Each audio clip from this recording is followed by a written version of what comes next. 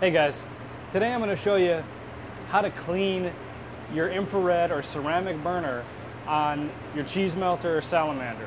All right, this particular unit is an old style Imperial, but they're all going to be relatively the same. So I've already taken off the lid to this unit. Uh, you may want to take off yours. It'll have probably uh, uh, six, seven screws. Sometimes they just lift off.